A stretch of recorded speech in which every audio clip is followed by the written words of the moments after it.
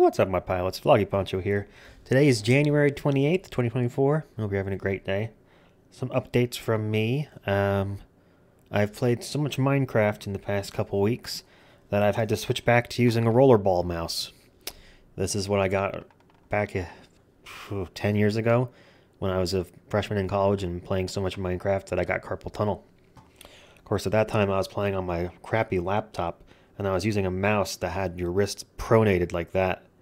It was like the worst possible uh, situation. So uh, it's not as bad now, but it's still annoying. So I've had to switch, and I was already using an ergonomic mouse like this one, where it sits upright so that instead of your hand being flat, you have it rotated, which is more comfortable for a long-term use, sort of at a natural, you know, 45 degree angle like that. I've had to switch back to a trackball, and I'm getting used to it again. Anyway, I thought that was kind of funny. Minecraft is the one thing that I'm willing to sit and use my mouse for long enough to actually merit changing out my hardware. Today was a pretty decent Sunday, and I'm actually going to add a checkbox because I did some work today. I have something I got to present tomorrow, and I didn't really feel like I was ready. I wasn't sure if I had enough time tomorrow, so I worked on it for a couple hours today. And, uh, oh boy. Yeah, the meeting might not go well.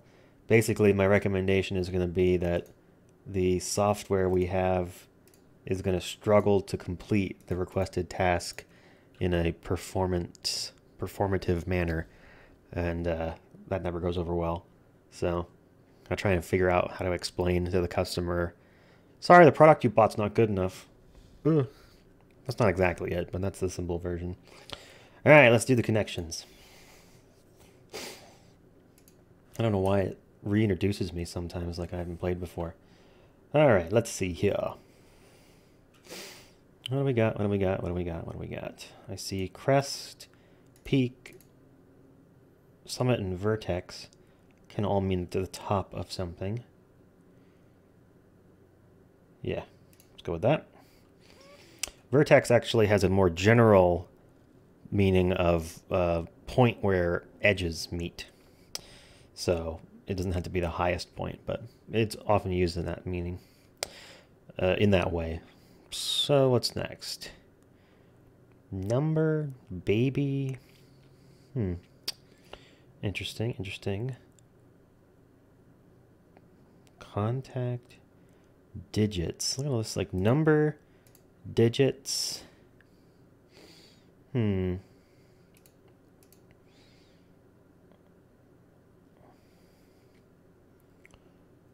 I'm not seeing it. Nothing is jumping out at me here. I see bag and pocket storage locations, but none of these really scream storage location.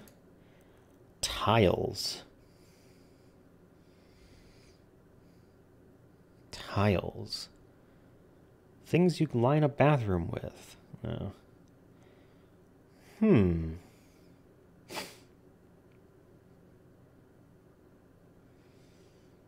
Wow, no themes are jumping out at me here. This is, is a strange one where we get, well, we got the easiest one.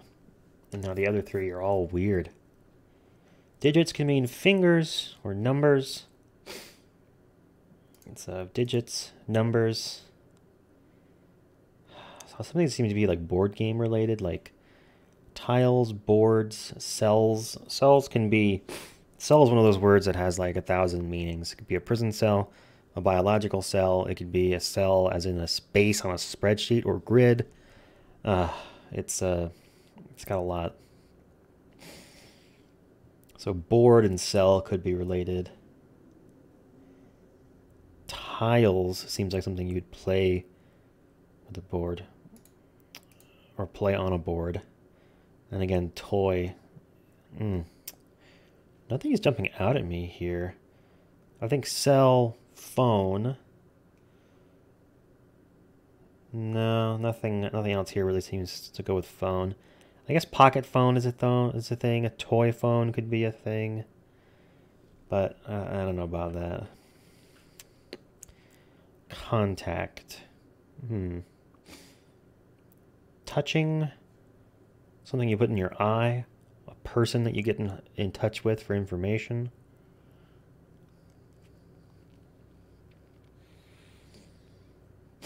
What a this is this is weird. I almost never have trouble with the second group.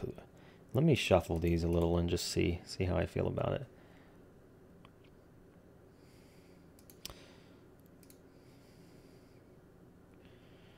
Hmm. Digits and number are kind of the same thing. Digits are what we use to write numbers.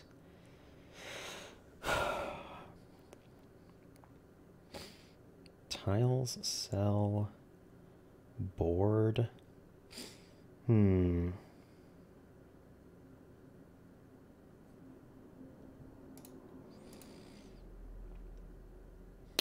Okay, what about baby? Something small? Yeah. Yeah, words for words that mean small, like a toy uh, poodle. It's a small poodle. You have like a mini schnauzer. A baby's a small thing. What's the other small? Pocket. With the other word for things that are small. Okay. That was the... Oh, there should be one that's relatively straightforward here. Maybe it has to do with, like, equipment for playing Scrabble? Yep. okay. As I was like, oh, you do get like a little rack in there. Cell contact number digits.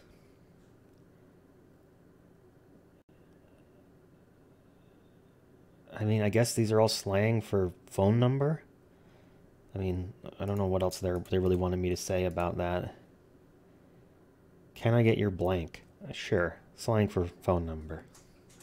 All right, weird puzzle. And now I have just a little interesting chart. So check this out. This is an overlay in terms of um, latitude of where European and North American cities would be in like terms of actual distances from each other. So check this out. Look at the North American ones first. Oh, Jasper's excited about something. There must be a kitten out there. You can see like these European cities that are notably cold, like Reykjavik and Helsinki, are way up in Canada, and even ones that you would think are like more like warmer, like Madrid. It's out here with like California. Nothing down this far. I mean, if you get down to, to here, you're into Africa. Yeah. It's kind of interesting to me that people don't realize that Europe is so much farther north than North America, or at least so much farther north than the United States is. But this is even more telling to me as someone who knows like where um, American cities are. Like the fact that the distance between uh, Seattle and Anchorage is like far enough to get you out to, to Iceland. crazy. And then you really see the effect that the geography of the land plays in weather. Like Denver is going to be much colder and much snowier than southern Italy by a by a long shot because of the effect of being near water like the Mediterranean Sea here. And then San Francisco probably has similar weather to the south of Spain. I don't know if how, how exactly how close, but again, because they're both coastal, they're they're similar. And then you look over and Atlanta is equivalent to being in the Middle East. again, different geography uh, works out that way. But it is interesting to me that the Sahara Desert is right across from where the desert is in North America, over here. So that that part at least lines up. But where we put our cities is a bit different. Imagine Miami just being right here next to Mecca. that would be a that would be quite a spring break. yeah, we're gonna go pray and then uh, party after, or maybe the other order. I just thought this was really cool. It's just it's neat to see what what uh, most of Europe is across from Canada. Is the way I usually think about it. It's like okay, it's like one notch up almost. Anyway, I just thought that was kind of a cool visualization. Hope you guys are having a great day. Good weekend. Get readied up for Monday tomorrow. It's going to be a bad week. It's going to be tough At least for me. Hopefully not for you. But uh, we'll get there. See you tomorrow.